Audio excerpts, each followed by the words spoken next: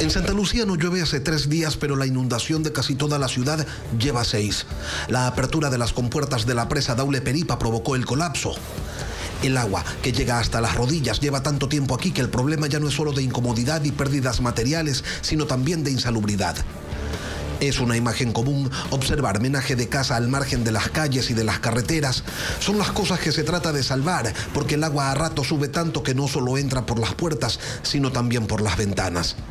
Santa Lucía tiene 45 mil habitantes y las calles que están secas en toda la ciudad apenas son tres. Las calles aquí en Santa Lucía estamos ya hoy en un 90% prácticamente inundado. Y en el sector agrícola el 90% también, porque está subiendo, en lugar de bajar está subiendo. En el sector denominado la industria, esta es la evidencia. El cauce del río se perdió. Alfonso dice que atrás estaba su cultivo de arroz, pero ya no hay nada. Y entonces la preocupación de las deudas, de la supervivencia. Y sin embargo... Tenemos que seguir trabajando porque la vida continúa. Salir del rincón de las cañas en el cantón Palestina es una aventura en la que se expone la integridad personal y más aún si como Catalino Romero se lo hace a pie. Antes aquí había camino, ahora se lo adivina pero igual se sale. Hay que dejar el miedo atrás porque ¿qué comemos si no trabajamos?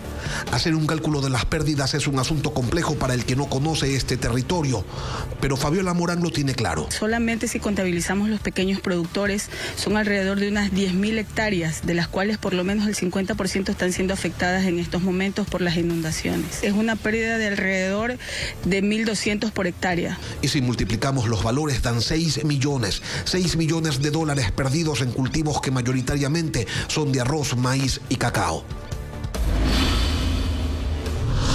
a Comején, el panorama es desolador.